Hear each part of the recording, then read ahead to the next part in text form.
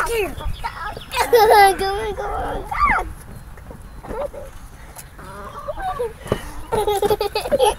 Hey, what about me, Emily? What about I'm